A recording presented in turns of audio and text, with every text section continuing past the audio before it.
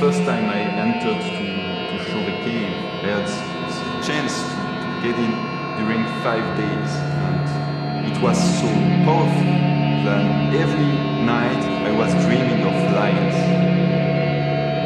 Every day was the same uh, shock for me. It was an emotional shock. I mean, I'm a scientist, but a human too. After five days, I decided not to go back in the cave because I needed time just to relax and take time